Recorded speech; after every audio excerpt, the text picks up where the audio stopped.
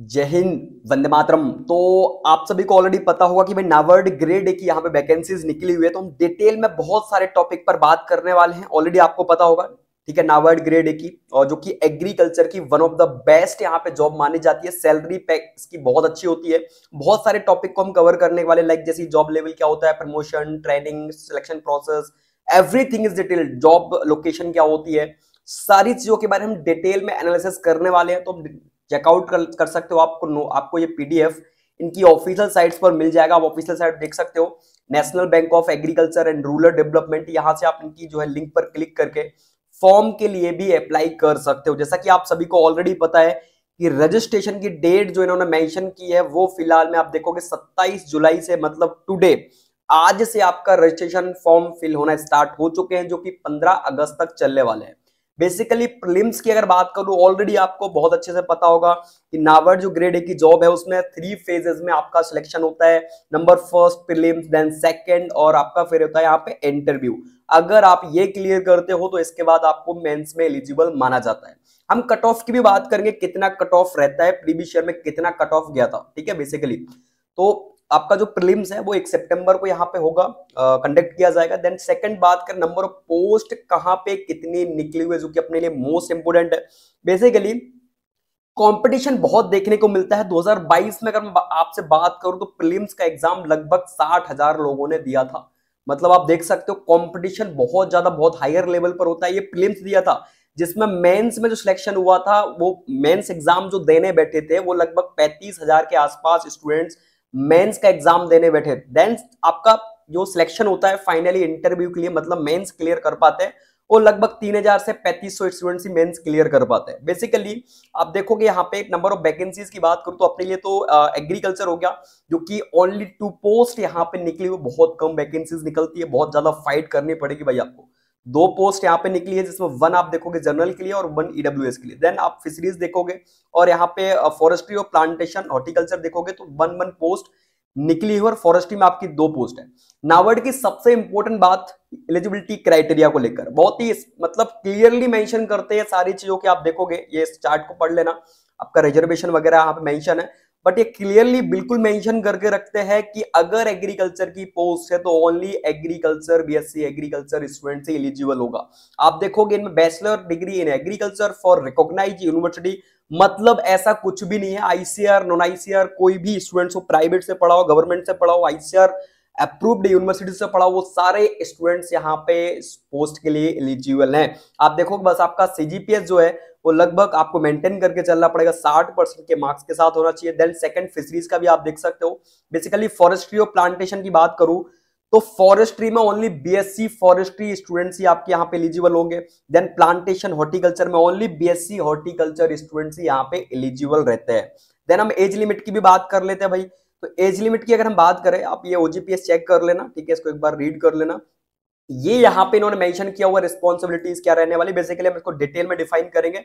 कुछ चीज़ें हैं जो आपको मैं बता देता हूँ। जैसे एज लिमिट की अगर हम बात करें तो लगभग 21 मिनिमम 21 और हाइयर जो आपकी मैक्सिमम वो है 30 साल तक के स्टूडेंट्स यहाँ पे नाबर्ड ग्रेड में अप्लाई कर सकते हो। बेसिकली मैं आपको बता दूँ नाबर्ड ग्रेड में। सिलेक्शन प्रोसेस तो ऑलरेडी मैंने बता दिया ना प्रीलिम्स मैन मेंस और इंटरव्यू अगर आप मेंस क्लियर प्री क्लियर करते हो, उसके बाद आपको मेंस के लिए एलिजिबल माना जाता है, ठीक है? बेसिक बेसिक से इंफॉर्मेशन है, ये ऑलरेडी आपने देख लिया होगा, ठीक है? तो कुछ चीज़ों के बारे में देखो, आपको अगर मैं बात करूँ प्रिलिम्स एग्ज़ाम की तो इसमें नंबर ऑफ़ क्वेश्चन जो रहते हैं, वो 200 रहते हैं। मार्क्स भी आपके 200 रहते हैं। 120 मतलब 120 मिनट का टाइम ड्यूरेशन आपको देखने को मिलता है। और एक बटा चार मतलब यहाँ पे 0.25 की यहाँ पे नेगेटिव माइनस मार्किंग देखने को मिलती है। मैं कुछ और इंपॉर्टेंट चीज़ों के बारे में बात करूँ बेसिकली चेंजेस यहाँ पे क्या क्या हुए हैं? तो चेंजेस यहाँ पे बेसिकली किसमें देखा गया है? मेंस uh, की भी हम बात कर लेते हैं इसके बाद चेंजेस की हम बात करते हैं क्या क्या चेंजेस है? तो देखो मेंस एग्ज़ाम में पेपरली प्रॉपरली आपका फ़ेज़ सेकंड तो इसमें दो पेपर होते हैं phase one then phase second आप एग्ज़ाम पैटर्न यहाँ पे चेकआउट कर सकते हो प्रिलिम्स का है बाइलिंगुअल लैंग्वेज इन्होंने मेंशन कर रखा है। और ये मेंस का इन्होंने दिया हुआ है, ठीक है, आप इसको देखोगे स्पेसिफिक पोस्ट ऑफ़ मेंस का भी मेंशन कर दिया पेपर फ़र्स्ट और पेपर सेकंड तो इसमें जर्नल इंग्लिश होता है देन जिसमें आपके ऐसे राइटिंग होती है और पेपर सेकंड आपका स्पेसिफिक होता है, जिसमें आपके जर्नल राइटिंग में जो होता है, वो पैसिव राइटिंग भी आती है और ऐसे राइटिंग भी आती है, जो कि थ्री क्वेश्चन रहते हैं हंड्रेड मार्क्स के होते हैं, नब्बे मिनट का टाइम ड्यूरेशन आपको देखने को मिलता है और मेंस में प्रॉपरली जिस भी आप सब्जेक्ट से रहोगे, वो भी आपका रिलेटिव सब्जेक्ट भी इसमें देखने को मिलता है, ठीक है, आप चेकआउट कर सकते हो। आपको देखने को मिल जाएगा ऑब्जेक्टिव मेंशन टाइप रहता है, इसको एक बार चेकआउट कर लेना, ठीक है? देन इंटरव्यू की अगर मैं बात करूँ तो आप देख सकते हो नाबर्ड ग्रेड ए में यहाँ पे इंटरव्यू का पचास मार्क्स आपके रहते हैं। इसके बाद ही आपका सिलेक्शन होता है। फाइनली मेरिट लिस्ट यहाँ पे तैयार की जाती है, आप देख सकते हो। कितना ऑब्जेक्टिव तीस क्वेश्चन रहते हैं, फिर डिस्क्रिप्टिव मेंशन कर दिया कितना कितना टाइम ड्यूरेशन आपको देखने को मिलता है इंटरव्यू फाइनल कट ऑफ़ आपका निकल के आता है। इंटरव्यू के बाद इनकी ऑफिशियल साइट्स पर आपका फाइनल कट ऑफ़ मेंशन किया जाता है कि लास्ट कितने मार्क्स तक आपका सिलेक्शन हुआ है। सिलेबस आप चेकआउट कर लोगे, इनकी साइट्स पर देखने को मिल जाएगा। बेसिकली मैं आपको चेंजेस बताने वाला हूँ, यहाँ पे क्या चेंजेस हुआ ये आपके एग्ज़ाम सेंटर है। तो चेंजेस ओनली यहाँ पे कहाँ पे हुआ है? तो वो एप्लीकेशन फ़ीस में थोड़ा सा बदलाव किया गया है। जो पहले आपकी फ़ीस रहती थी वो लगभग छह सौ रुपए रहता था। यहाँ पे एप्लीकेशन फ़ीस जो अभी बढ़ाकर 700 कर दिया गया, आप चेकआउट करोगे। तो बेसिकली मैंने यहाँ पे मेंशन किया हुआ है एप्लीकेशन फ़ीस जो कि 650 था। प्रीवियस शेयर में वो अब इसको इंक्रीज कर दिया, लगभग 700 के आसपास कर दिया गया है, ठीक है? तो ये चेंजेस है। और सबसे इंपॉर्टेंट कि नाबर्ड ग्रेड में बेनिफिट्स की बात कर लेते हैं क्या क्या बेनिफिट्स है। तो नो पब्लिक डील आपकी पब्लिक से कोई भी डील नहीं होने वाली है इस बैंक में, ठीक है? देन कैपिटल पोस्टिंग होने वाली आपकी। नो ब्लेज एरिया आपको कोई भी ब्लेज एरिया नहीं मिलने वाला प्रॉपरली आपको एकदम शहरीकरण मिलने वाला है ठीक है? देन सैटरडे और संडे को आपका यहाँ पे ऑफ़ रहता है ये मेंशन कर दिया इन्होंने स्पेशली कि सैटरडे संडे आपका ऑफ़ रहेगा। देन सेकंड आप देखोगे यहाँ पे कि आ, ये जॉब लेवल मेंशन कर रखे ठीक है? नावर्ड ग्रेड ए में आ, आपकी प्रमोशन लाइक कैसे होता है और कौन कौन से पोस्ट पर आपका यहाँ पे प्रमोशन होता है? ठीक है? आप देखोगे सबसे पहले तो यहाँ पे मेंशन कर सबसे लोएस्ट पोस्ट जो है वो आपकी असिस्टेंट मैनेजर की है एम जिसको बोलते हैं then manager assistant manager deputy manager then second आपका जर्नल मैनेजर और है चीफ जर्नल मैनेजर ठीक है? हाईएस्ट पोस्ट होती है और एग्जीक्यूटिव डायरेक्टर ये भी आपकी बहुत ही हाईएस्ट पोस्ट मानी जाती है सेकंड हाईएस्ट है।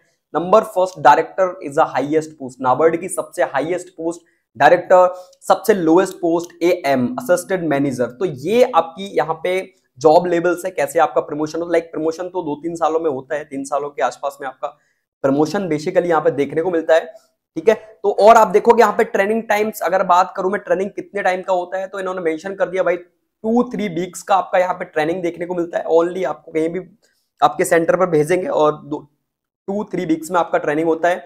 देन वर्क क्या होता है? तो सिंपल सा पता है आपको work central state new policies को देखना रूरल बैंक की पॉलिसीज़ कॉर्पोरेटिव बैंक की पॉलिसीज़ रिपोर्ट सेंड करना, कितना प्रॉपरली डाटा क्या वो सारी चीज़ों को यहाँ पे मेंशन करने का काम रहता है इनका, ठीक है? एग्ज़ाम सिटीज़ आप ऑलरेडी देख चुके होंगे, यहाँ पे मेंशन कर दी इन्होंने एग्ज़ाम सिटीज़ आपकी क्या क्या रहने वाली है, ठीक है? तो जिस भी स्टेट से हो आप देख सकते हो बेसिकली अगर मध्य प्रदेश की बात करूँ तो उज्जैन, सागर, भोपाल, ग्वालियर, इंदौर, जबलपुर, सतना, ये आपके सेंटर रहने वाले हैं। और प्रिलिम्स ऑलरेडी आपको पता है मोस्ट इंपोर्टेंट है और कंपटीशन भी आपका यहीं पे होता है। फ़ेज़ वन में प्रिलिम्स एग्ज़ाम में, ठीक है? वन लाइनर एग्जामिनेशन होता है, आप चेकआउट करोगे इनके साइट्स पर, आपको इंफॉर्मेशन बूचर्स में ऑलरेडी डिटेल में everything is detail how apply कैसे अप्लाई करना है तो application registration payment fees and photograph signature वगैरह आप अपलोड करोगे। कहाँ पे नावर्ड ग्रेड की ऑफिशियल साइट्स पर आप जाके ये फॉर्म फिल कर सकते हो। बेसिकली बहुत सिंपल सा इन्होंने डायरेक्शन दिया हुआ है कि आपको क्या क्या करना है डॉक्यूमेंट्स क्या क्या लगने वाले हैं। वो आप इसको एक बार रीड कर लेना। सिलेबस ऑलरेडी आपको पता ही होगा। ठीक है, क्योंकि तैयारी आप लोग बहुत टाइम से कर रहे होगे। जॉब आने के बाद तुरंत तैयारी कभी नहीं होती है, जो ऑलमोस्ट लॉन्ग टाइम से प्रिपरेशन कर रहे होगे सिलेक्शन भी उन्हीं का होता है। ये ऑलरेडी आपको बहुत अच्छे से पता है। टू थ्री मंथ्स में सिलेक्शन नहीं होता है। ठीक है नावर्ड का सिलेबस बहुत ब्रॉड है। ठीक है? तो आप चेकआउट करोगे, यहाँ से आप रजिस्ट्रेशन नंबर पासपोर्ट वगैरह सबमिट करके हाउ टू अप्लाई कैसे अप्लाई करना है, वो आपको सब कुछ इनकी साइट्स पर देखने को मिल जाएगा। अगर आप न्यू हो तो क्लिक हेयर न्यू रजिस्ट्रेशन पर आप क्लिक करोगे। देन अपना name first second confirm confirm middle name confirm middle name last name confirm last name full name mention करोगे बेसिकली ये आपके मूड रहने वाले हैं। आप photo signature details previous upload then आप पेमेंट करोगे तो आपका फॉर्म यहाँ पे नावर्ड ग्रेड का फिल हो जाएगा ठीक है? बहुत सतर्क तरीके से फिल करना क्योंकि मोस्ट इंपोर्टेंट है ठीक है? आ, एक साल हर आते तो वैसे रेगुलर ही आपकी नावर्ड ग्रेड की बट फॉर्म बेसिकली थोड़ा सा आराम से फॉर्म फिल करना। यहाँ पे घबराने की बात नहीं आपकी ऑफिशियल साइट्स पर आप फॉर्म फिल कर सकते हो ठीक है? तो चेकआउट कर लेना बाकी कमेंट बॉक्स ओपन है। सब्सक्राइब नहीं किया है तो कर लेना भाई। और जो भी आपके डाउट्स हो आप आस्क कर सकते हो। बाकी हम मिलते हैं नेक्स्ट अपडेट के साथ ठीक है? और कंपटीशन uh, ऑलरेडी आपको बहुत अच्छे से पता है कि कंपटीशन बहुत हायर लेवल का देखने को मिलता है नावर्ड ग्रेड है में। पोस्ट बहुत कम आती है मेरे भाई। ये देख सकते हो आप टोटली 102 पोस्ट इन्होंने मेंशन कर रखी है। ओवर 100 पोस्ट के आसपास ही है कंपटीशन नेक्स्ट लेवल होने वाला है आपका ठीक है? तो मिलते हैं नेक्स्ट अपडेट के साथ और सब्सक्राइब नहीं किया तो कर लेना ठीक है? जय हिंद जय भारत।